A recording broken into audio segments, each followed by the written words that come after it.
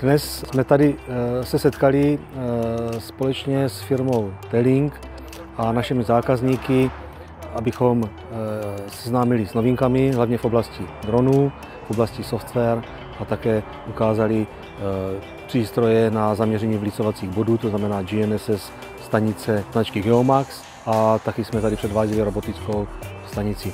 Stejně jako na jaře i dnes se vydařilo počasí, protože když takovouhle akci domlouváte dlouho dopředu, nikdy nevíte, co vás potká. Mám z toho velice dobrý pocit eh, a věřím, že příští rok uděláme podobnou akci zase v Brně a v Praze. Dnešní workshop jsme uspořádali ve spolupráci s našimi subdealery, s firmou Geopen Brno a s dalšími kolegy ze Slovenska. Součástí programu bylo představení novinky Mavic 3T a pochopitelně Mavic 3E, což je dron, který je určený právě pro fotogrametrii. Dnešní workshop jsme uspořádali v reprezentativních prostorách.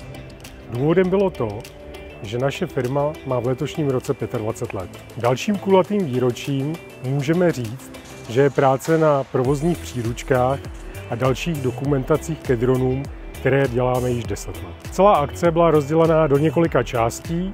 První část byla o tom, že jsme se seznámili s novou technikou, nejenom drony, ale i s geodetickou technikou.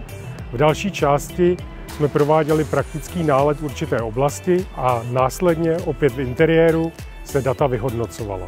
Po vyhodnocení dat kolega Tomáš seznámil účastníky s tím, jak s daty pracovat jak je dál převádět do jiných softwarů, jak je exportovat a dodávat zákazníkům.